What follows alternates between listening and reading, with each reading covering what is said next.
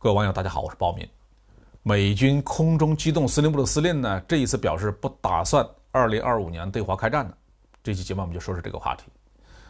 2023年的一月份呢，美国空军曾经爆出一条很刺激的新闻呢。美军的空中机动司令部的司令米尼汉中将在写给下属的备忘录中曾经扬言，到2025年中美之间呢就可能要爆发一场全面战争。因此，这个司令部下属的所有官兵。都应该振作起来，做好早打大打的思想准备。这个米尼汉人位高权重啊，所以他的这份备忘录引起了一定程度的轰动。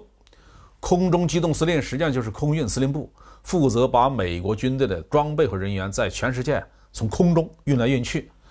如果中美之间真的发生全面战争，那么空中机动司令部就要负责向亚太前线运送兵员、装备、弹药和给养物资，同时要把伤亡的美军要运回本土。因为空运的快捷性嘛，所以在战争期间呢，机动司令部的任务将是异常的繁忙。因此，外界解读米尼汉中将的这一份备忘录，是美国空军认为战争迫在眉睫。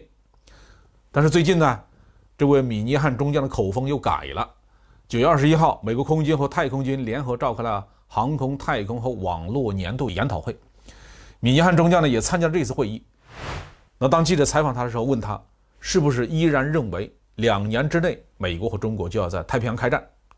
米尼汉呢却说，他认为战争并不是不可避免的。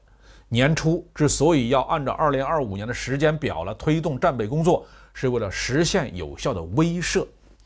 米尼汉还表示啊，他当时之所以会写下二零二五年这个时间，主要是出于直觉。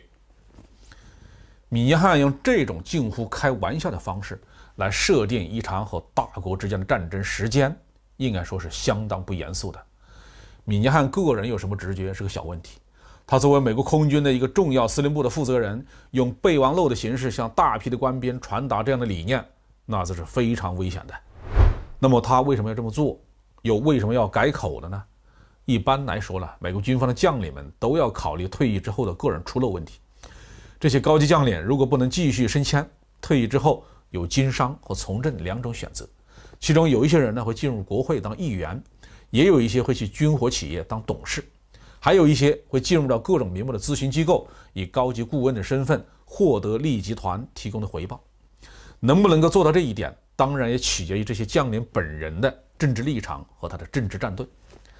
在二零二三年初啊，美国政坛上的反华气氛是甚嚣尘上，政客们纷纷表现自己对中国有多么的痛恨，立场有多么的极端。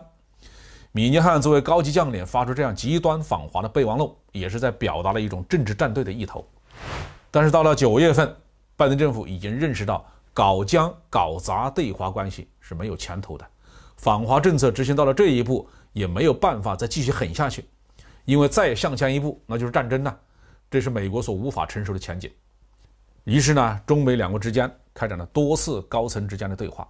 九月十六到十七号。美国国家安全顾问沙利文和中国外交部门的负责人呢举行了会晤，这期间呢就确定了要成立一部分交流机制。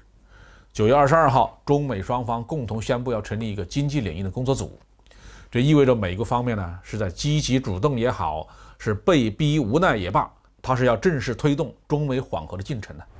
在这样的背景下，美尼汉在一月份发布的备忘录就显得不合时宜了。因此，他借着年会的机会，通过媒体渠道向外界表示，自己其实没有那么好战，并不是真的希望中美两国在2025年就进入全面战争。从这件事儿我们可以看出啊，美国的这些高级军官们呢，是绝不是美国媒体所宣传的那样专心搞军事，不过问政治。他们的政治敏感性和政治投机心理是相当强啊，像墙头草那样的风吹两面跑。此时此刻，我们还想看看美军太平洋战区司令。阿奎利诺的嘴是不是还那么大？对中国的态度还是不是那么强硬啊？因为近几年美军中要守谁对华态度强硬，阿奎利诺恐怕要排在头一位。好，这句话就评论到这里。